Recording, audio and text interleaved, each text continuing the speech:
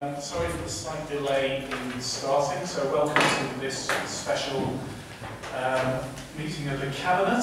Um, So uh, let's go straight into the agenda. I think first of all, uh, I need to formally uh, ask for Councillor George Davies's apologies to be given. George is on holiday at the moment, so we can record, that, be grateful. Um, item one is members' code of conduct, declarations of interest. Um, I think, just check with you, Surjit, I think we're going to have an additional item, item six, on the Business Improvement District report. So obviously, as a director of the Chamber of Commerce, I will be declaring an interest and leaving the room.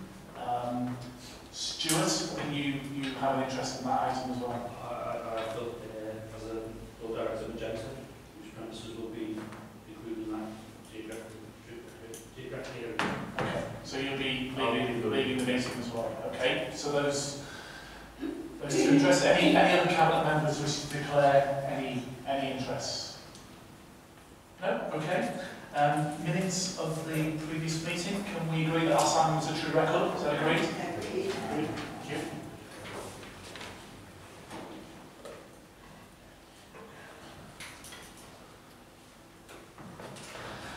Okay, uh, so that, let's go to the first um, substantive item, which is item number three, Hoy Lake Golf Resort. I'll hand over to Pat to take us through this, please. Thank you, Chair. Um, this report, as we can see, uh, requests members to note the significant progress made with regard to taking forward the Hoylake Golf Resort project and following a bid program, uh, follow, uh, following a bid progress to authorise the announcement of the Nicklaus Uh, as the Council's preferred develop, development partner. Um, on the first page, uh, to say at the outset the council made it clear that all bids will be evaluated against four main criteria um, and will weighted accordingly. That's that is meeting the council's vision 20%, deliverability 35%, commercial liability 30% and commercial terms 15%. Subject to members' approval to this report and the signing of the uh, project development agreement the council can proceed to close dialogue and come out of the formal uh, procurement uh, phase. Developing, of course, a world-class international golf resort at Hoylake has been a long-term aspiration of the council. Hoylake is a special place in the history of golf, particularly the link-style golf. And is known, of course, worldwide. Over a long history, the course has hosted many prestigious international tournaments, including the Open Championships, uh, on numerous occasions, most recently, of course, in 2014. The benefits to Wirral uh, Chair as a world-class golf resort are managed particularly viewed within the wider context of England's Golf Coast, which links Royal Liverpool, Royal Birkdale and Royal Liverpool. It's an attractive and highly marketable offer for international and UK-based visitors. The addition of a new Nicklaus uh, signature golf course, hotel and links course academy lifts of course the existing offer onto a significantly more attractive uh, level. England's Golf Coast currently lacks a quality hotel on site uh, and the clustering of venues in close proximity together with the Links Academy will be unique in England. The importance of the international training names on the golf and hotel course of course, will also have immediate uh, impact. Great interest in, demand in the area and recapture some of that activity currently, currently displayed to Liverpool and beyond. Uh, based on live data sourced from a similar operational golf resource in South Wales, it has been calculated that the Hoylake Golf Resource could create a total of 175 jobs, uh, direct jobs, uh, uh, once the operation was up and once the operation was, was up and running. The Nicklaus bid also estimates that the construction of the championship golf course, hotel, clubhouse and infrastructure would create a total of 168 uh, construction jobs. The indirect benefits of the project are more difficult to state at this stage, but the increase in tourism numbers will be significant. The decision chair paves the way for a period of extensive public consultation to commence uh, shortly. The appendix to this report sets out further financial details and is exempt under Schedule 12A of the Local Government Act 1972 due to the commercial sensitivity, of that information. Uh, the recommendations, as you can see at the end of the report, Chair, and I hope members can agree, are to appoint the Nicklaus Joint Venture Group as the Council's preferred development partner and upon serving the necessary notices and standstill period before we close the competitive dialogue process. Members agree, secondly, to the principles set out in the report and approve further discussions as detailed in the exempt appendix. Can I just say as well, off the record, from, from my point of view, It, it's, it's been going since 2004, uh, and it's always, uh, as, as we mentioned in the report, been an aspiration of the council for a long, long time. And it's one of those big ticket projects that can make a big, big difference, I think, to the world. And, and it's one I believe also about the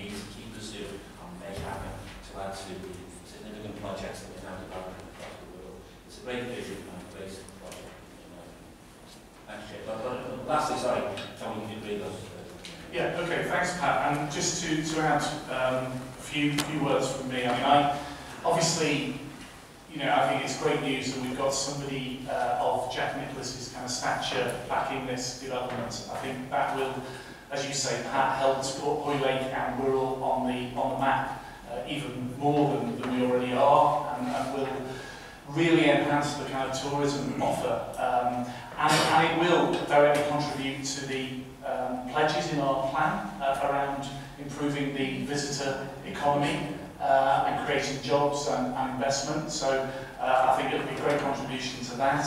Um, and, you know, I think the idea of having um, you know, uh, a Jeff Nicholas signature golf course and um, the re related facilities, particularly the, the links Academy, which I think will be unique in, in, certainly in England, um, will, will be a tremendous boon for the area.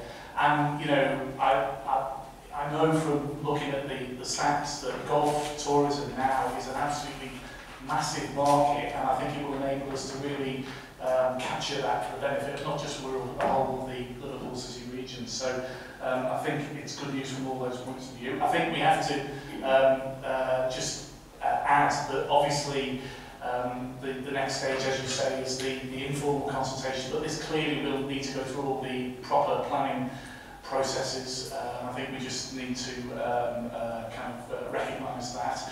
But I think in terms of our, our, our ambition uh, to be a, um, a borough with a, a, a tourism offer which is second to none, I think this is going to be a fantastic um, uh, contribution. And, and I, I think it's say, formally, all being asked to do today is agree that the Nicklaus joint venture group be the uh, preferred development partner. So that's the formal decision today. But I think uh, in terms of the vision, I, I think it's really exciting. Tony? Yeah, it's just very quickly, Chair. I, was glad to see that the, the bidder has experience of um, sort of supporting local schools, you know, particularly um, year nine pupils and sixth form pupils. And this will give them a good opportunity, you know, to get work experience and that in the, in, in the sort of leisure and hotel industry and that.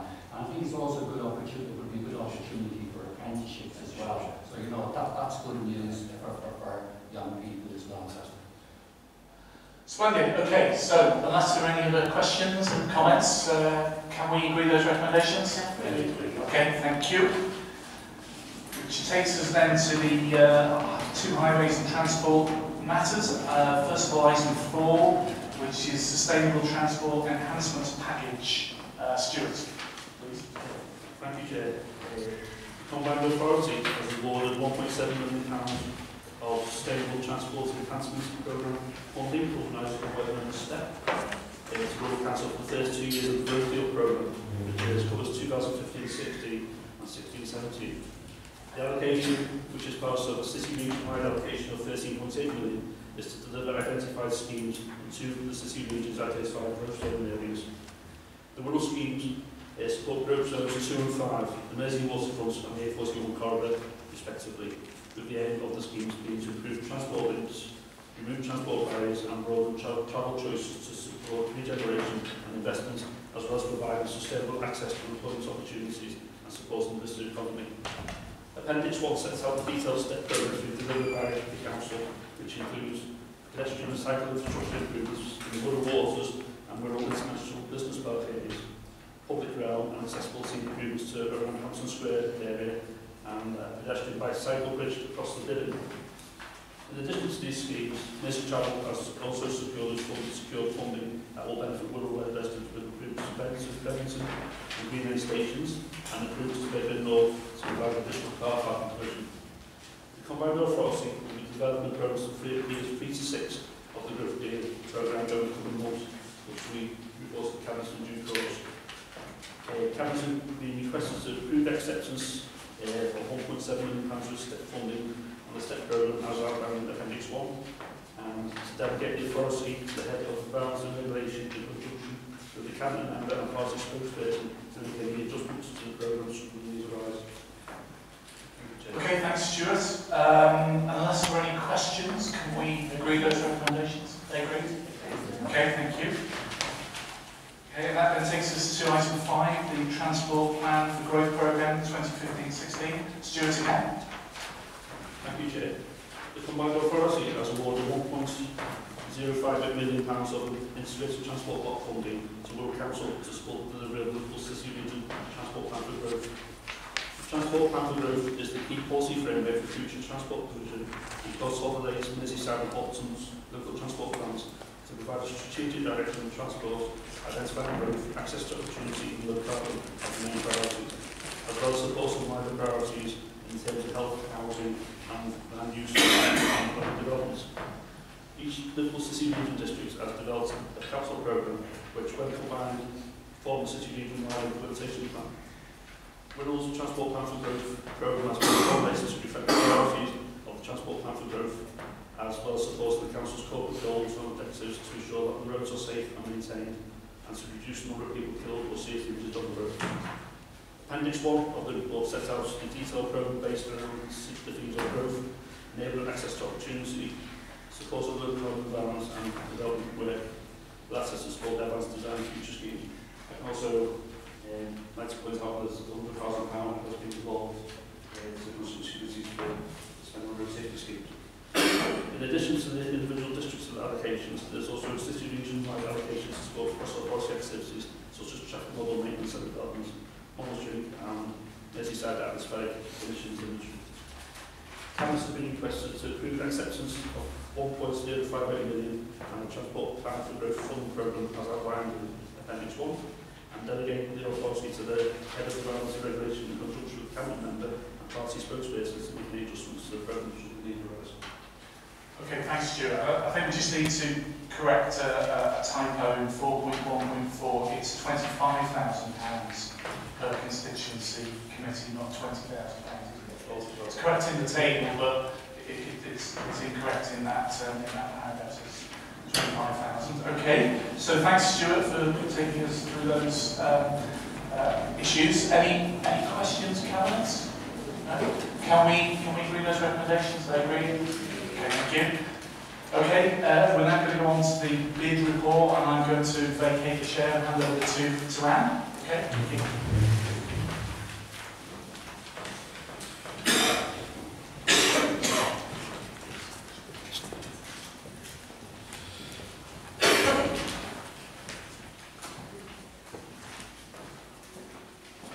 Okay, colleagues, um, this is an item that was deferred from last Monday's cabinet on the settlement of bus- of business improvement district in Birkenhead.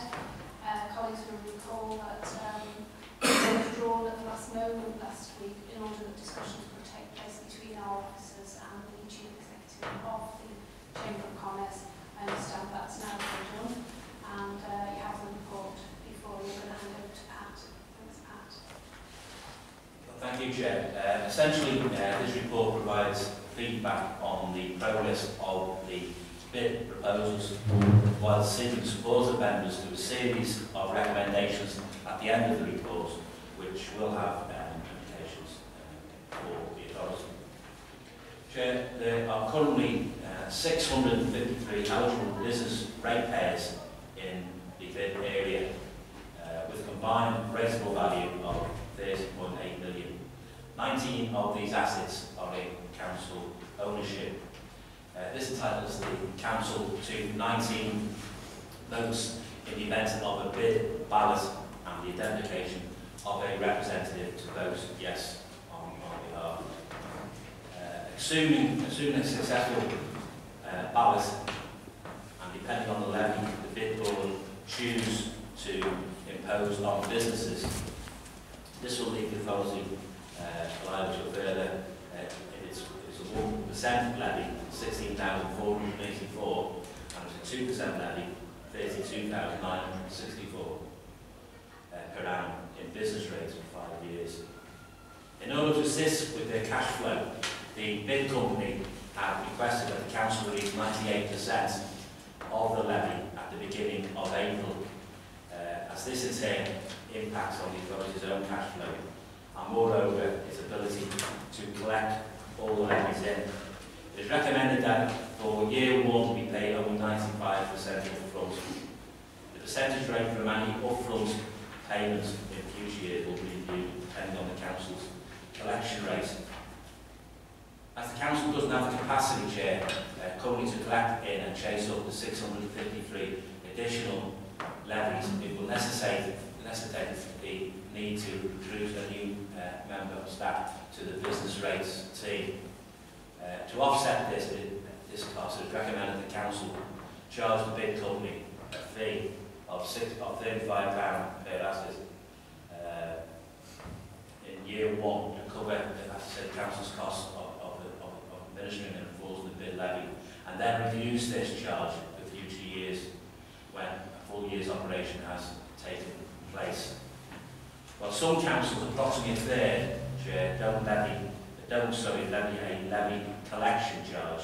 The request from the bid company, nonetheless, to follow suit, isn't economically viable, given the savings the council, uh, the council will continue to have to make over the next few years. Finally, the big company would prefer to send the bid levy demand out separately to the normal business rate bills, this ensures business recognises the level of additional services the bid will deliver over and above that which is funded by the council. This will incur additional costs to the council of £1,500 per annum to cover the cost of stationery and postage. You want the council's current financial situation and position, the recommendation is to pass these costs on to the bid company. If I may, Chair, um, can I ask, you, as I said at the outset, you will see all the um, recommendations at the end of the report. Um, you want me to, Chair, what was the recommendations out? Uh, I think, I think it would be helpful, given that we've got a revised recommendation, that everybody understands exactly what we're Okay. being asked to agree. The recommendations at the end of the report, Chair, are to identify the person who will exercise the cabinet, the council's vote, sorry, in, in the forthcoming ballot. In the case of a positive ballot, to create a bid that A, in year one, 95% of the bid levy is paid on the 1st of April, with the percentage being reviewed for future years. Depends on the council's performance in collecting the levy. B, the council charges the bid company a levy collection charge of £35 per unit to cover its costs for employing a member of staff to collect and enforce. No, it's the same. The one in the... one? But that...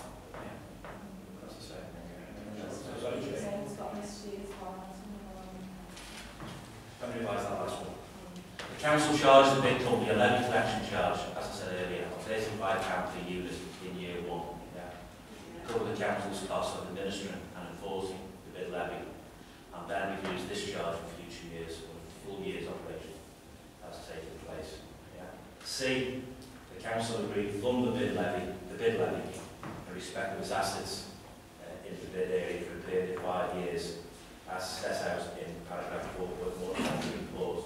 And finally, D, the council charges the bid company the extra cost of separate billing should the bid company require this. And the reason for the recommendation is to enable proposed obviously which is point obvious because to establish a business improvement district in Birkenhead Town Centre to, to be progressive for regeneration benefits. Okay, I think it's helpful to so, clarify that so that can understand that absolutely. the, levy, the levy will be charged in the first instance for the first year and then subject to discussion and review. so we understand that. Can I just say on the first part of the recommendation, uh, Pat, you mentioned about identifying the person who will exercise the council's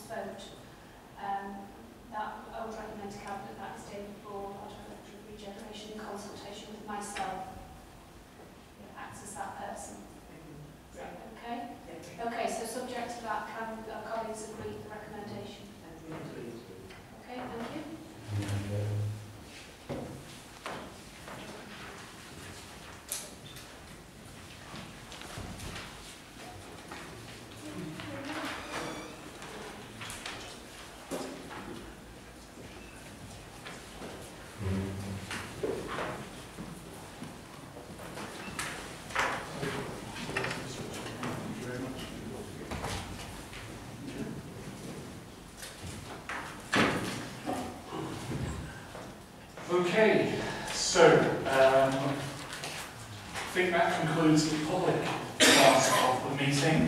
Um, I've not been advised of any other urgent business. I now need to move the um, exemption to exclude the press and public, and this item is exempt as it contains commercially sensitive information. So can I um, see a seconder for that? Is that agreed, Cabinet? Can I ask the press and public to leave, please? Thank you for your attendance.